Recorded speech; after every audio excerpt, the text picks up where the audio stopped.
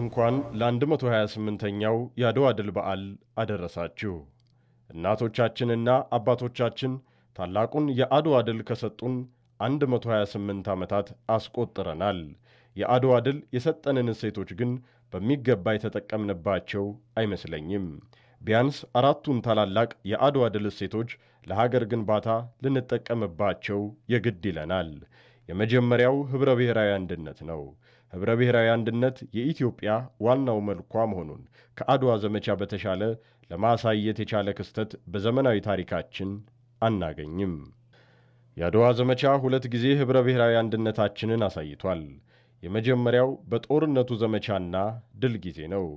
ዛሬ በምናውቃት ኢትዮጵያ ውስጥ ከሚገኙ ማኅበረሰቦች መካከል ወደ አድዋ ያልዘመተ ወገን የለም ብሎ መናገር እውነትን መናገር ነው።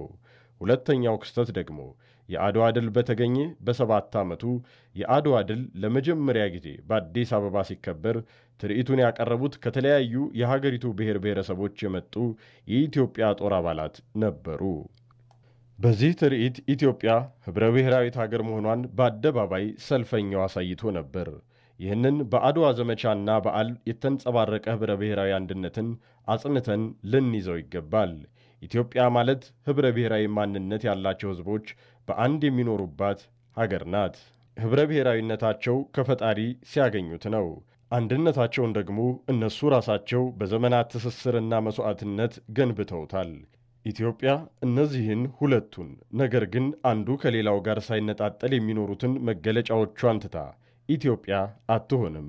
በእያንዳንዱ ጉዞዋ ይህንን እያረጋገጠች መጓዝ አለባት። ሁለተኛው እሴት ለታላቅ ሀገራዊ ዓላማ ሲባል ንዑስ ፍላጎቶችን መሰዋት ነው።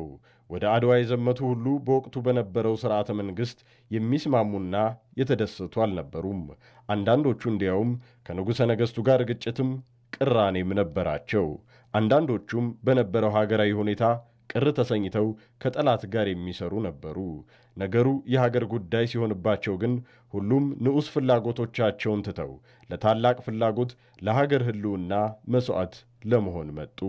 ማንኛውም ፍላጎት ከሀገር ፍላጎት በታች መሆኑንም አሳዩን። እንኳን ዛሬ ብዙ አይነት መረጃ እውቀትና የሐሳብ መንገዶች ባሉበት ዘመን ቀርቶ ከመቶ ዓመት በፊትም ሰዎች ልዩ ልዩ ፍላጎቶች ነበሯቸው። በፍላጎቶቻቸው የተነሳም ቅራኔዎችና ግጭቶች ነበሩ። ሁሉንም ለአንድ ዓላማ የምታስተሳስር ዓላማ ሀገር የምትባለው ናት። ዛሬም ንዑስ ፍላጎቶቻችን ከኢትዮጵያ አይበልጡም። ኢትዮጵያን የሚያዳክም የሚያሳንስና የሚያሳጣ መንገድ ከትልቁ ዓላማ የሚጋጭ መንገድ ነው። ጦርነቱ የትልቁ ዓላማ የኢትዮጵያ ሕልውና ማስከበሪያ እንጂ የንዑስ አካባቢያዊና ግላዊ ዓላማዎች ማስፈጸሚያ ሊሆን አይገባም። ጦርነት ለትንሽ ነገር የሚወጣ ወጪ አይደለም።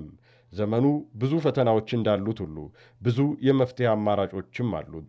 መከራከር፣ መነጋገር፣ መወያየት፣ በሕግ መዳኘት አንዱ ሌላውን መሸከም የትየለሌ አትራፊ መንገዶች አሉት።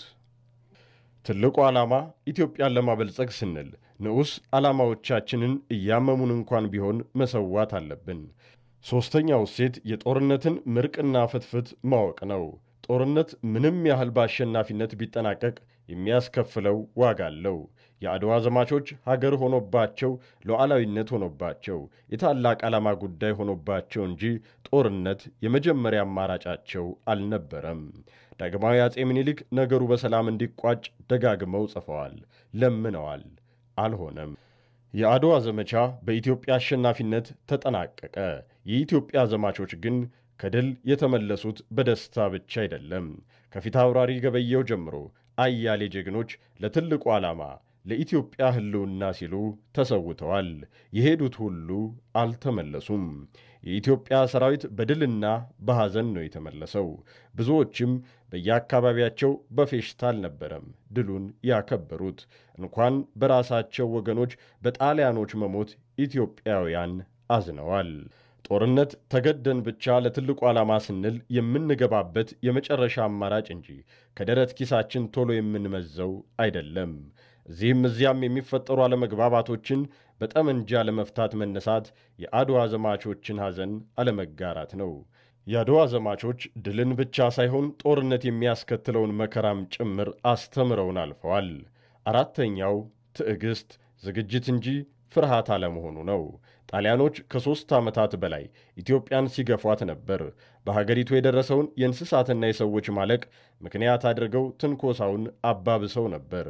ኢትዮጵያ እየተገፋች እንኳን ቢሆን ታግሳለች። ትዕግሥቷ ግን ከአቅመ ደካማነቷ የመጣ አይደለም፣ ለባሰው ነገር እየተዘጋጀች ስለነበር እንጂ። እህል እስኪደርስ፣ ሰው እስኪያገግም፣ የተገዛው መሳሪያ እስኪደርስ፣ የደረሰው መሳሪያ ከጦሩ ጋር እስኪላመድ ታግሳለች። በመጨረሻ ግን የትዕግሥቷን ውጤት በአድዋ ተራሮች ላይ አሳይታለች። ኢትዮጵያም ዛሬ ትታገሳለች። የተገፋችም እንኳን ቢሆን ትታገሳለች። የምትታገሰው ስለሚያቅታት አይደለም፣ ለባሰው ነገር ስለምትዘጋጅ ነው። ያ የባሰው ነገር ሲመጣ የአድዋውን ድል በብዙ እጥፍ ትደግመዋለች።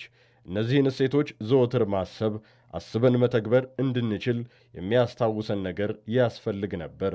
አድዋን የሚመጥን ታሪኩንም እሴቱንም የምናስብበት መታሰቢያ ዘመቻው በተጀመረበት ስፍራ ባስገነባን ማግስት ነው በዓሉን የምናከብረው። ይሄም ለዘንድሮ በዓል ሞገስና ክብር ጨምሮለታል። ዛሬ መታሰቢያውን በከበረ ሁኔታ አከናውነናል። ነገ ግን የአድዋን እሴቶች በሚገባ በመጠቀም እንደ አድዋ ተራሮች የጸናች ኢትዮጵያን መገንባት ይቀረናል። ያ ደግሞ የሁላችንም ስክነት ብስለትና ጥምረትን ይፈልጋል። በድጋሚ መልካም የአድዋ ድል በዓል ይሁን።